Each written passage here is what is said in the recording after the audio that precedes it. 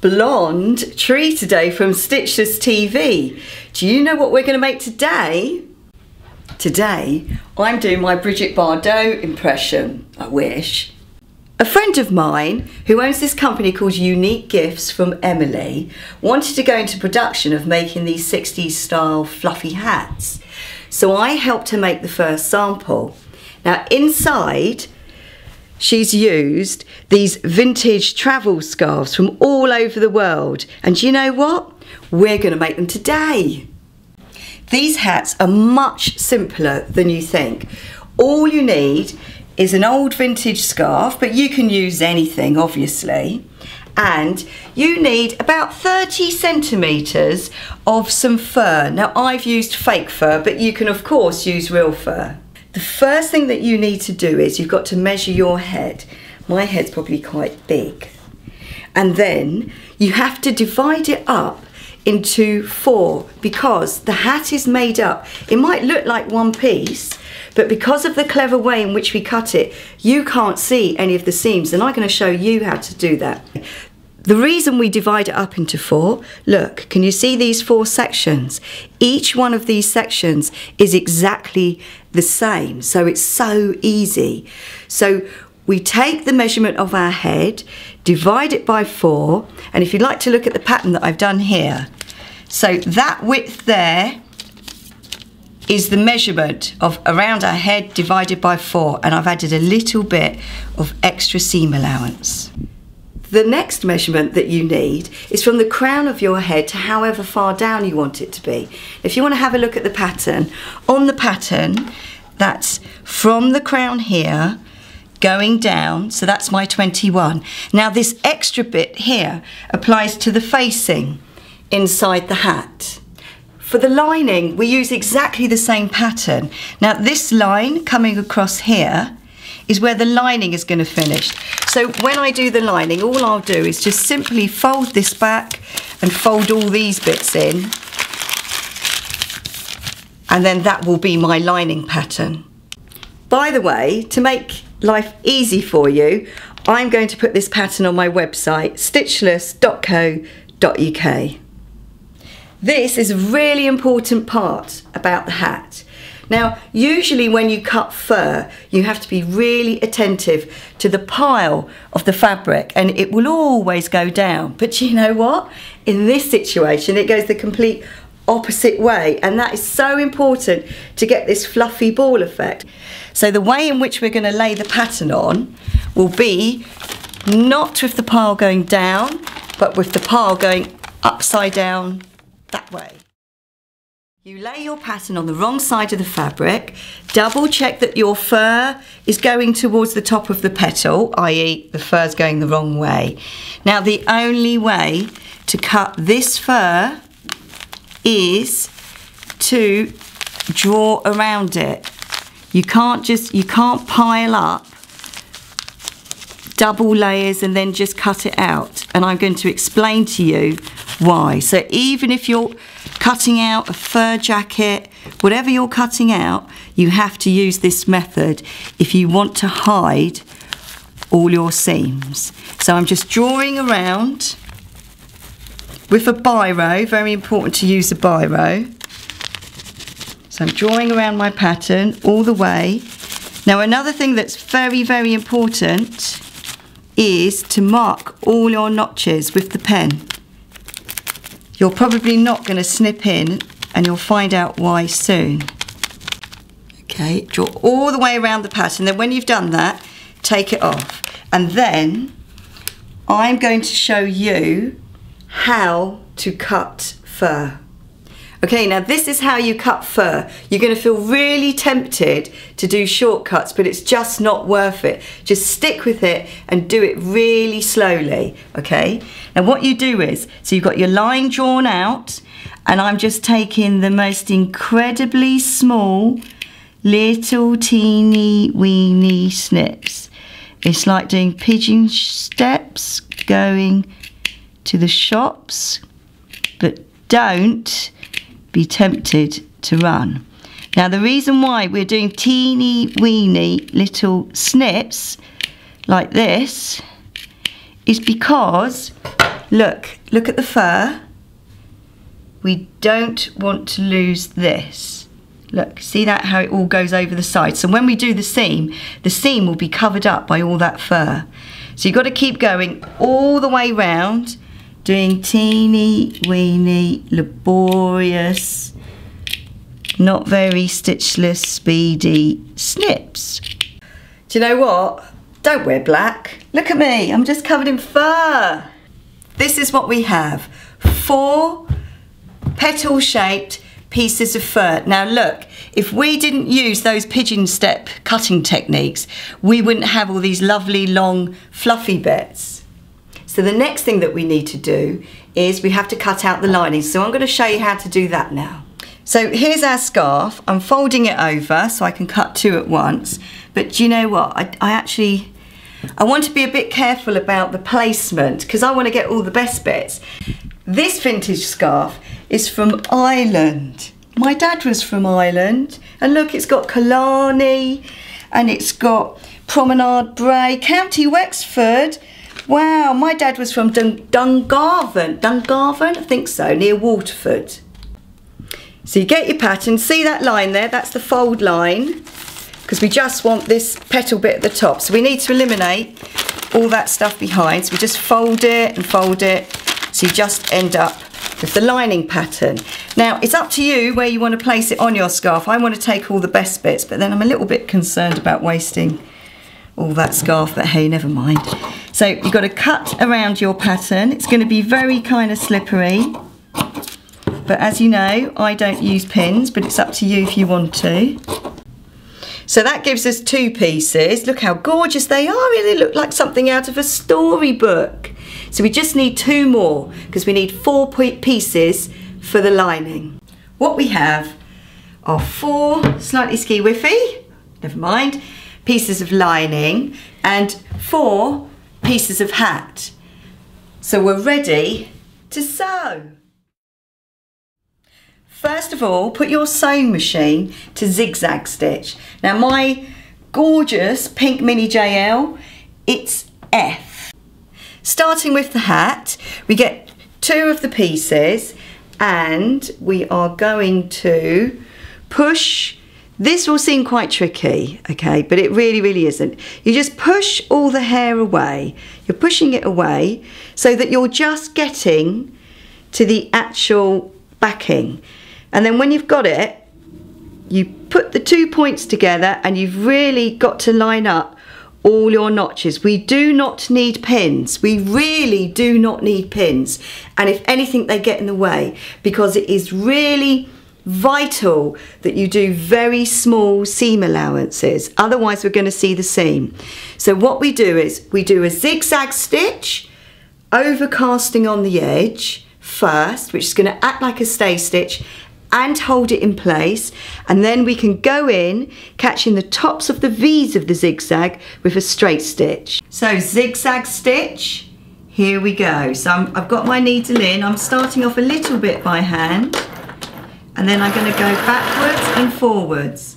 Now this, remember, you're just doing it right on the edge. We hardly want any seam allowance. We're pushing in our fur, tucking it in. It isn't really very difficult. Come and have a look. And then the next important thing, can you see my little notches? that I made with the pen. Yep. They, thank you Esther, they have to line up and we go zigzag, stop at the notch, take a little break, needle in, push in some more fur.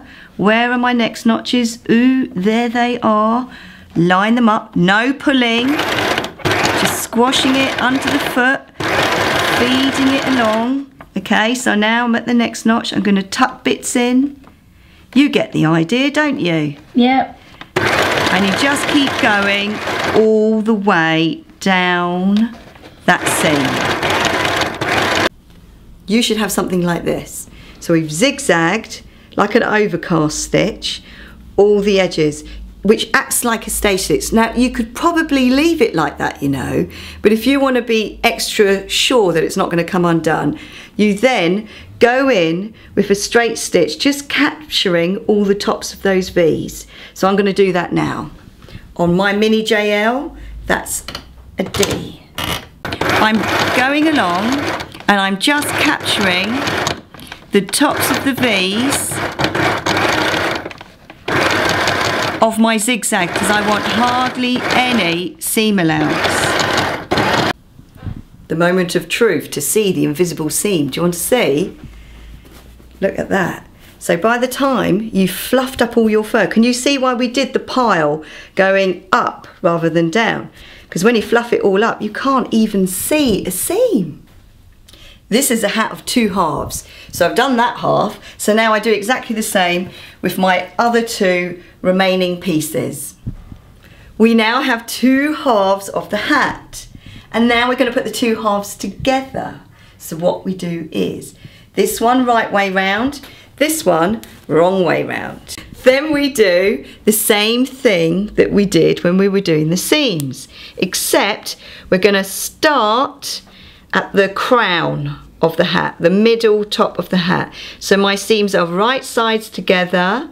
I'm starting at the top. Now just a little bit of advance warning. That bit there's going to be a bit chunky because you've got extra fabric. So I would turn the wheel as you sew. Don't forget to put it on zigzag now. So that's F on the mini JL. Match up those middle seams. Squeeze them underneath your foot and the first bit, look, this little wheel on the side here, you only ever turn it towards you. You can sew with it. So if you have a power cut or something like that, don't worry, you've got no excuse. You can still make clothes because you just turn that wheel and it will go. But seriously, the reason why we're doing the turning the wheel thing is that I can feel if if it's too thick and there's a bit of resistance, I can feel that the needle's getting stuck and then I can take it out again and go back in. But if I put my foot on the pedal, Oh, I would just break a needle and we don't want to do that. So I've cleared the thick bit now and I'm ready to go. Pushing in all the fur, same as before, matching up my notches and squashing it under the foot. So we've done three basically we've done three of them now and I've gone in and I've done a straight stitch as well. So I've done the straight stitch. So now I'm going to do the last seam. So we've made a gorgeous chef's hat. Look at that. No not really. So when we turn it the right way round the magic starts to reveal itself. Look at that. So all the fluffy stuff you've got to make it all go down Actually, you could probably do the hairbrush, couldn't you? But we're not at that stage yet because now we need to think about the lining. The lining. well, what we do is we get the lining. We do the same sort of thing where we do it in two sections. We put it right sides together and we simply do a straight stitch about two mil away from the edge. So I'm going to do that now. I've got my mini JL on D I'm putting it right sides together and sew. So the lining's in two halves and now we're going to do the same as we did on the hat where we put them right sides together and push our seams either one way or the other. I'm going to start in the middle, go down, start in the middle, go down. So still on straight stitch. So when you finish your lining, it should look like this, which is quite a gorgeous little skull cap. Now I'm going to quickly press it. It's up to you. If you don't want to press it, that's fine, but this is your last chance. I'll quickly do it now. Take a deep breath. Because the next bit's just a tiny, weeny, weeny, weeny little bit tricky, but you'll be fine. What you have to do is you've got to line up your super slippery fabric with your super fluffy fur. Now I'm working in this situation to about a centimetre seam allowance because I need it to grab it because the lining could really fray. I'm lining up the seam of the lining with the seam of the fur of the hat and I'm doing one section at a time right sides together. using a straight stitch and I'm going to have the lining on the top and it's very important that each section does actually fit so even if it seems like the lining's a bit bigger or the fur's a bit bigger, you just cheat it and squash it in there. So we're going to do that now. So it's about a centimetre seam allowance. It's not a fantastic job. Sorry.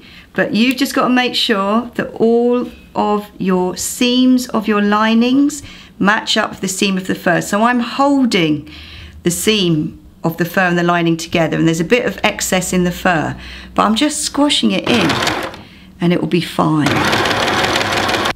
Now we can safely reach another section so I'm lining up the seam of the lining with the seam of the fur. There's a little bit of excess again so I am still going to squash that in as well. So off we go. So I keep going until I get to the seam on the other side. That's a horrible job. Just take your time, all right? There's no hurry. We've got one more section to do.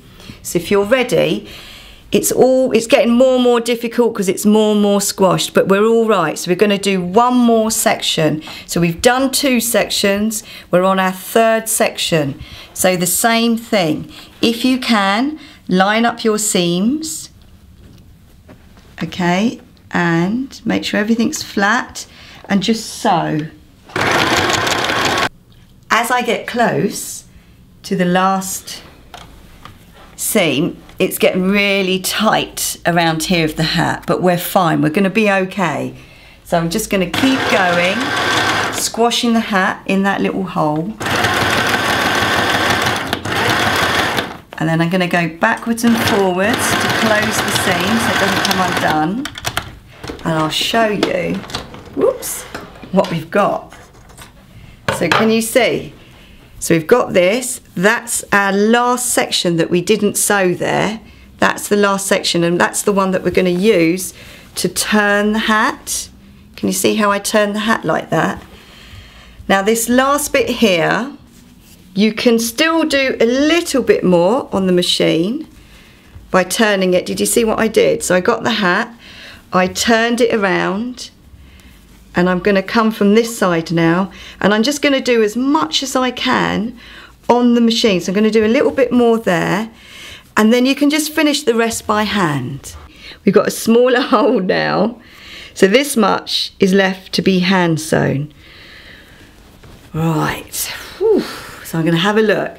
So I'm pushing down the facing do you remember I said that we cut it a little bit longer because we have a facing? It's a good idea to brush your hat. So you brush the pile going down like that. And then after, oh gosh, after a while, it does stay like that, like this. But when you first do it, it's all kind of really staticky. So, shall I try it on? Yeah. Yeah, I think so. Bridget Bardot, eat your heart out.